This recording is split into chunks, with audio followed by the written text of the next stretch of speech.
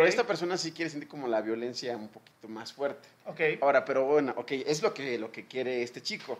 Pero su pareja, ¿qué tanto va a estar dispuesto a hacerlo?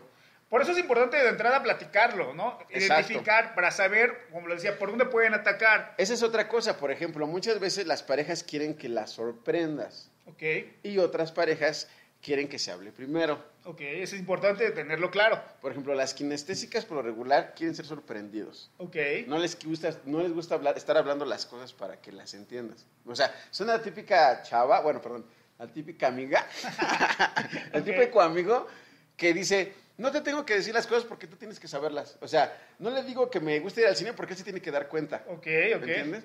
Ok, Por ejemplo, las, este, las kinestéticas también son muy emocionales, o sea, son las que hacen drama por todo. Uy, yo conozco Uh, varias. sí, claro. Entonces, obviamente también pueden puede haber combinaciones auditivas con visuales y puede ser kinestésicas visuales y así, son así los lo, pueden ir combinando. Pero bueno, ahora chicos, por ejemplo, lo primero que tienen que hacer para, bueno, los juegos que pueden agotar con que pueden usar con su pareja son los que se pueden hacer entre ellos dos solitos. Ok, ¿no? Por ejemplo, vimos la película de las 50 sombras de Grey, o las 50 su- sombras más oscuras este, de Grey, ok. y se nos antojó como usar un aparato, etcétera, ¿no?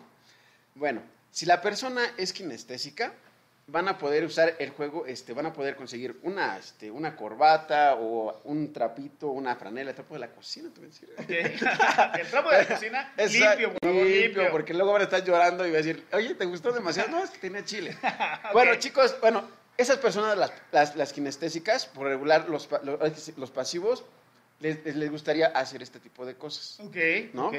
Ahora, si quieren Pero un rollo como de que amarrarlos. No, no, no, que les tapen los ojos. Tapar los ojos, ok. Este, para que nada más sientan, ¿no? Esos son los kinestésicos. Los kinestésicos y, lo- kinestésicos y los que, y bueno, lo que puedes hacer con tu pareja. Porque si ya está en una onda más abierta, Más open, todo esto. Tú puedes llevar a tu novio a un cuarto oscuro, por ejemplo. Ok, ok. ¿no? Ahora, vamos Con a tu supon- novio, con tu novio. Con tu pareja. Ok. ajá. Sí, bueno, o con quien, con quien estés cogiendo. También, igual ya co- coges con alguien, ya no es lo mismo que antes, también quieres revivir. ¿Quieres ¿no? reír? Ok, ok, darle como más Dice. la chispa. Entonces, eh, bueno, eso lo puedes hacer, pero por ejemplo, si, bueno, con tu pareja son un poquito más open y son medio open, hay lugares donde puedes, bares que tienen un, un cuarto oscuro. Ok, Entonces, pues, este, decirlo, y sabes qué, bueno, vamos acá y le haces cosas en el cuarto oscuro. A las personas kinestésicas por regular les va a gustar esto, ¿no? ok. Porque van a, ahí, pero ahí no van a ver, van a tocar. Únicamente. ellos, eh, por ser oscuro. hacerlo, pueden hacerlo entre ellos, ¿no? Ok. Pueden hacerlo entre ellos en el cuarto oscuro Ahora, con ah, alguien. mira, fíjate, aquí nos dice algo Omega Joshua que dice, mi querido Roger, ¿por qué esas cosas de los juegos sexuales los satanizan? Mucha gente los ve como algo malo. ¿Qué opinan? Ah, bueno, pues porque es ahora sí que la, la, la tradición que nos, nos No, educa. Por ¿no? ejemplo, como eso que, que dices tú, ir con tu pareja a un cuarto oscuro, mucha gente de entrada dice, no, yo nunca entraría a un cuarto oscuro y menos con mi pareja. Porque son niñas bien, son las de Lomecan, ¿no? Chicas Lomecan, ok. Sí, pero no, miren. Primero se tiene que quitar la de la mente esas Sí, cosas, chicos. Recuerden que ya estamos... open. A ver, déjame checo porque no estoy seguro. Estamos en el 2017, sí, estamos bien. Este, en el- ya estando en el 2017, chicos, ya no, ya no aplica querer...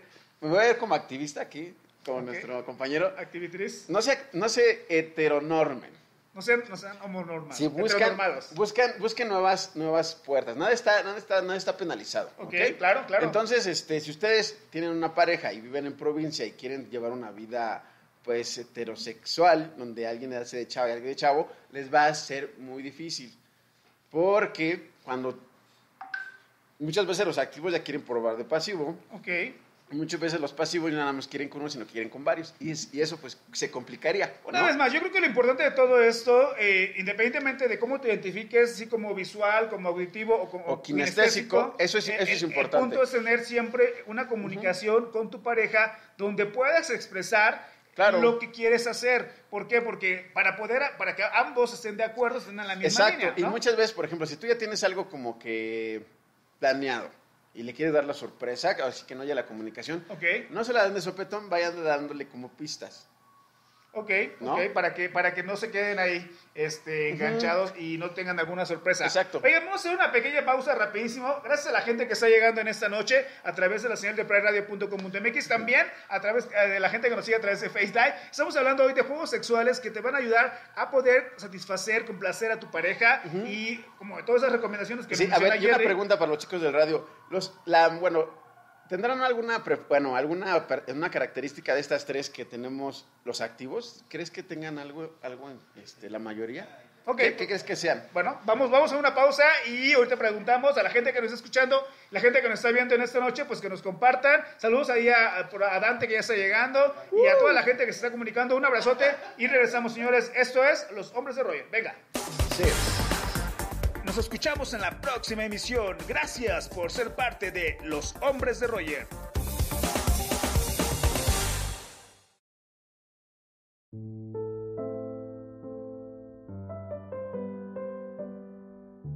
Me gustó mucho.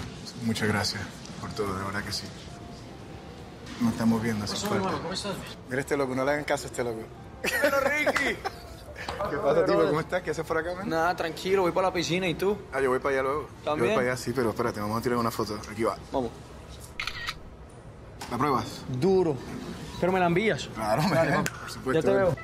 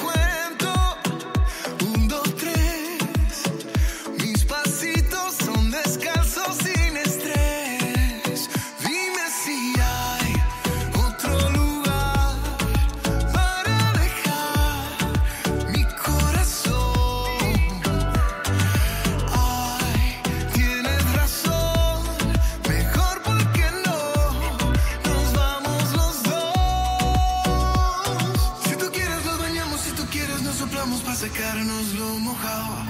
Si tu boca quiere beso y tu cuerpo quiere eso arreglamos. Si tú quieres un atajo y lo quieres por abajo, yo te llevo bien callado. Vente pa' acá, vente pa' acá, vente pa' acá.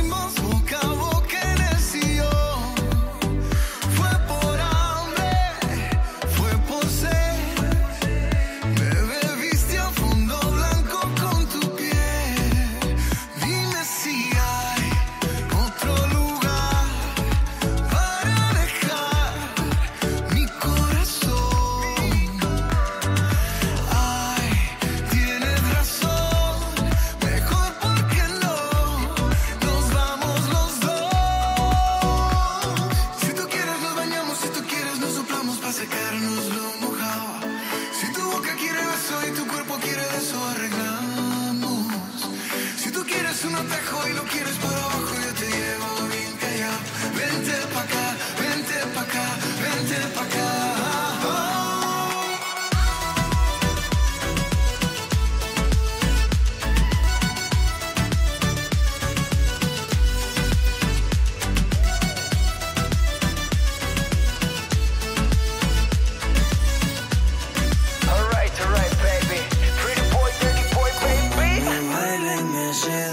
cuando le apagan las luces. Ya se luce, yo se lo hago otra vez.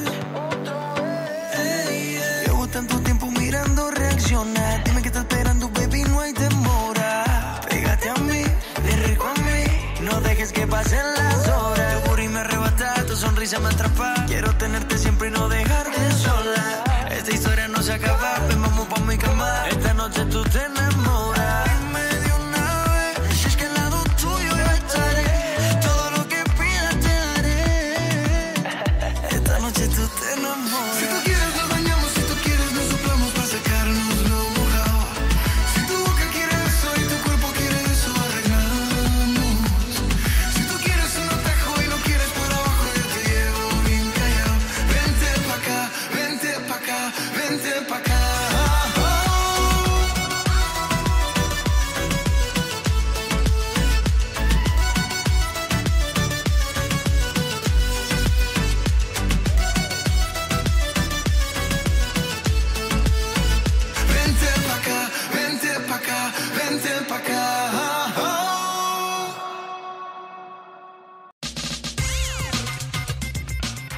Síguenos en las redes sociales a través del Twitter como arroba Roger Lorenzo.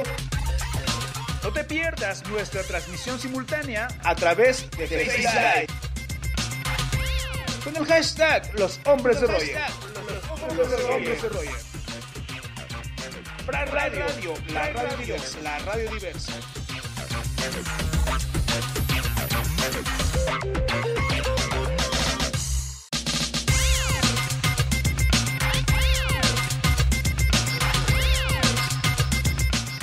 Ya estamos de regreso, señores, completamente en vivo a través de la señal de Pride Radio. Claro Esto sí. es Los Hombres de Roger. En esta ocasión está como invitado nuestro querido Jerry, de conductor de la noche es así, productor de Sexy Night y de muchas cosas más. ¡Claro!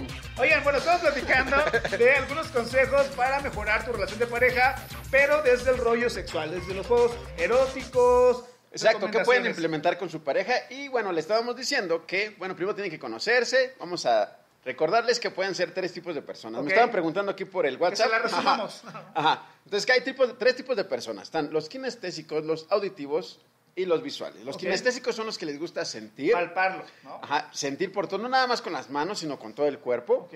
Están los auditivos que les gusta escuchar.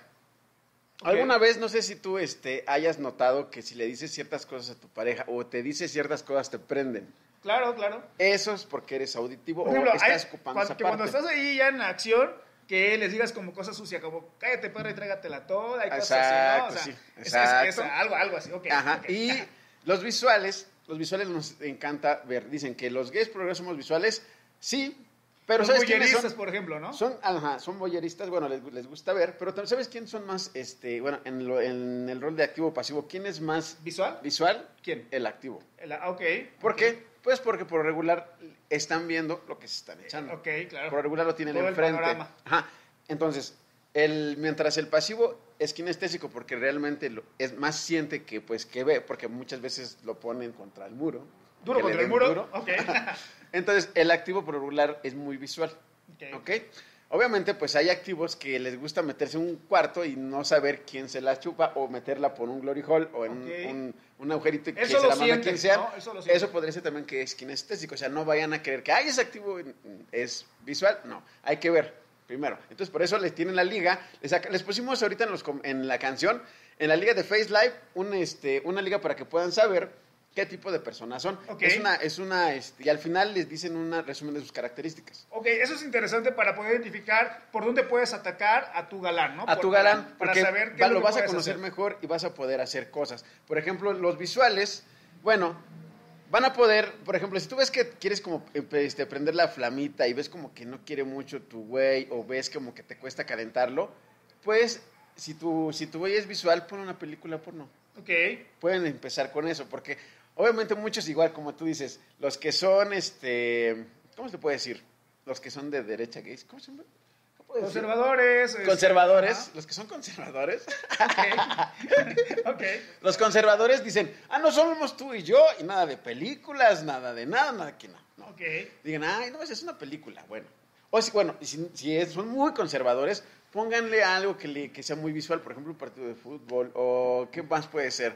Es que están bueno, chavos muy ricos. Claro, es que. además- Guardianes de la Bahía, no, ¿verdad? Eso ya no. Además, para el rollo visual, por ejemplo, de verdad puedes encontrar un momento de inspiración en cualquier cosa que te encuentres, ya sea que andes en la calle, o sea, que realmente, por ejemplo, el- el- muchos aplican que eh, te dejo que veas lo que quieras, mi amor, o sea, así que... Pero que- conmigo te desquitas. con yo soy lo que te voy a, ¿no? Sí, claro. ¿no? Entonces, esa parte pudiera aplicarse para la parte que- de la gente que... Yo creo que muchos somos muy visuales. Ahora, otra parte de lo visual está la vestimenta. Por ejemplo, usar... Claro, claro. Por- y aparte tienen que investigarle hoy un poquito más porque muchos no les gusta la tanga. Por ejemplo, a mí sí, por ejemplo, si mi güey es muy varonil, sí me gusta que se ponga una tanga, por ejemplo. Ok. O que se ponga suspensorios. Pero solo si son, bueno, personalmente solo considero que solo si son como personas varoniles, ¿no? Eh, no, obviamente. A mí, que a mí, lo personal también, a mí. Pero vamos a suponer que tu, que, tu, que tu güey es algo femenino y le guste también cosas así, ¿no? Una tanquita ahí de, este, de, de encaje y todo eso. Pues a lo mejor. Puede aplicarse.